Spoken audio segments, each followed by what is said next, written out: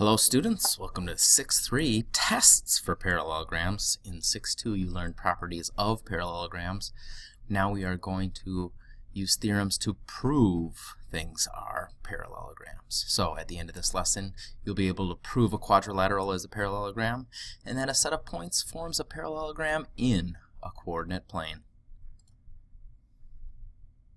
First off, have your theorem books out. We gotta go over a few theorems. As always, I'm going to highlight that hypothesis. If both pairs of opposite sides of a quadrilateral are congruent, then the quadrilateral is a parallelogram. Um, in 6.2, we went over some theorems that about properties. So basically, these are the converses. So before, if it was a parallelogram, opposite sides are congruent. Now we're saying if opposite sides are congruent, then it's a parallelogram. 610, same type of thing. If both pairs of opposite angles of a quadrilateral are congruent, then it's a parallelogram. Um, 611, if the diagonals of a quadrilateral bisect each other, which means they would have the same midpoint, um, then the quadrilateral is a parallelogram. This one's a little different. It says if one pair of opposite sides of quadrilateral is both parallel and congruent, then the quadrilateral is a parallelogram. All right, so you can just focus on one set of sides, not both sides. All right. Um, example number one, is this a parallelogram? Justify your answer. All right, well, quadrilateral, um, I've got sides, so we're looking at anything that was sides, and I've got two sides, and I noticed that this one says both set of opposite sides are congruent. Oh, both sets of opposite sides are congruent. That's the hypothesis. So yeah, um, it is a parallelogram. That's theorem 6.9. Um, in the next example, I've got opposite angles, uh, but I don't have both sets of opposite angles. I've got opposite sides that are congruent. Um, I, are they parallel? Uh, no, no, they're not parallel. We don't know that. Um, are the other sides congruent? Uh, no, we don't know that either. So in this one, we don't have enough information. All right, we only know one set of opposite sides, 6, 9. Um, they're not parallel, 6, 12. And then the angles, we only know one set, so that's 6, 10. Um, so we're going to get into some coordinate proofs, and that's just basically using coordinates um, or a coordinate grid to help us prove. So it's not formal um, like the two-column proofs. But basically, you can prove that a quadrilateral is a parallelogram um, by showing both pair of opposite sides are parallel, and that's the definition. So remember in 6.2 we talked about the definition.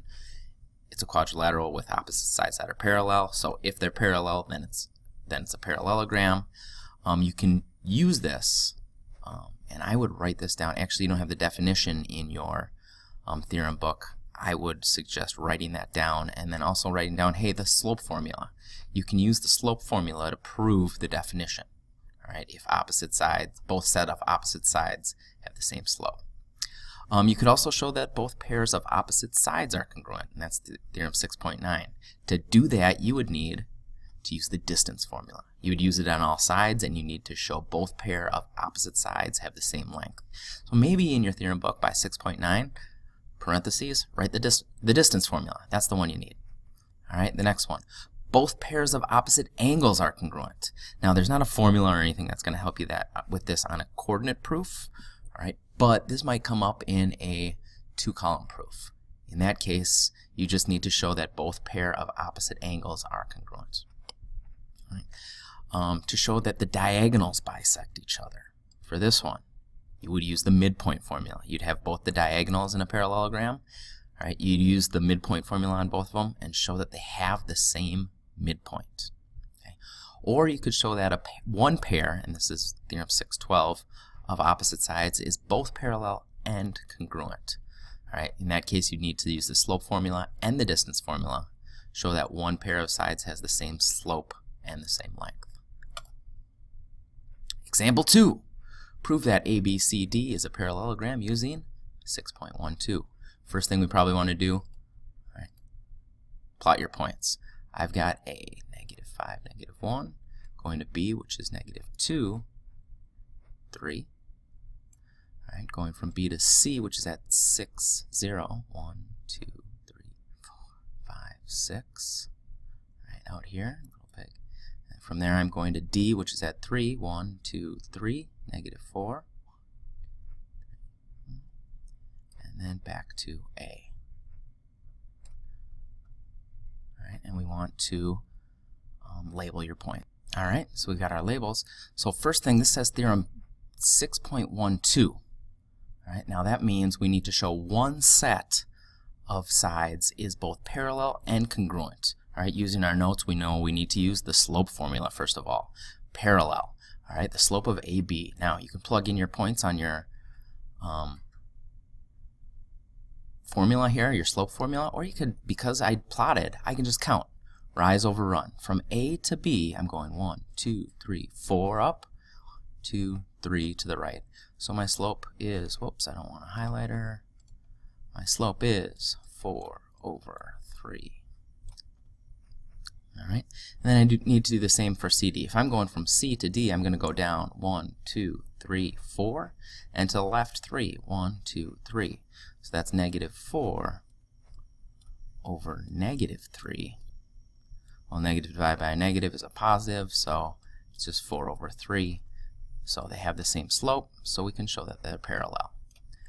Alright, well we also need to use the distance formula. You should have the distance formula written down. If you don't, write it down somewhere in your theorem book.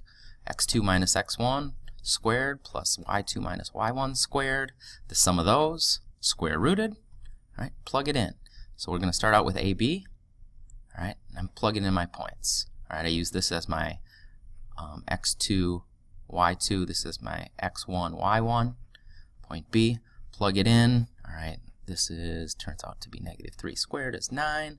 This is negative 4 squared, 16. 9 plus 16, 25. So AB is the square root of 25, which is 5. So I know AB is a length has a length of 5. Let's take a look at CD. 6 minus 3 is 3. 0 minus negative 4 is 4. 3 squared is 9. 4 squared is 16. This is the square root of 25, which is also 5. All right, so we have proved it because they have the same length, they're parallel, and congruent. So by 612, we could say that this is a parallelogram. Um, determine the coordinates of point z that would make wxyz a parallelogram. All right, well, we've got variables here. Okay, first W is 0C. Well, 0C we know is somewhere on the y-axis. We would go 0 right there, um, and it's a positive C, so I'm guessing up here. X. Oh, X is negative A, but still on the axis there, on the x-axis though. So it's in the negative area over here. Y is positive B, 0, and then Z is somewhere else. So I'm going to plot what I know, and I'm just going to pick kind of an area. I, I don't know exactly where C is. I think it's up here. I don't exactly know where A is. I think it's up here. I don't exactly know where B is. It's over here. All right. Well, um, right away, okay, we see that we've got we need parallel lines. By definition, opposite sides need to be parallel. So I know this has a slope of 0, all right, because I'm going my y's 0 minus 0 over negative a minus b. All right, well that's going to just be a slope of 0. So I need a slope of 0. Over here, well my y point is c. Well, if I want my final answer, my final slope to be 0, well, this y also has to be c. So I know, because these are parallel, that my y value is c. All right, so now parallel, and then I can also use the slope of this. The slope of this line is, well, I'm going to go up C and then over A. Okay, so the slope of this, C over A. So I know that the slope of this needs to be C over A. Well, luckily I've gone up C. All right. And from this point, I need to go over A. So from here to here, that distance has to be A. Well, we need to figure out this distance over here from that point. Oh, well look, it's b. So I know that this whole distance is b. This from here to here is b, from here to here is a, so I know my point is b plus a. You could also use um, opposite sides are congruent as well because we know from here to here it's b. We know from here to negative a, the distance would just be a, so it's a plus b or b plus a, either one um, is commutative.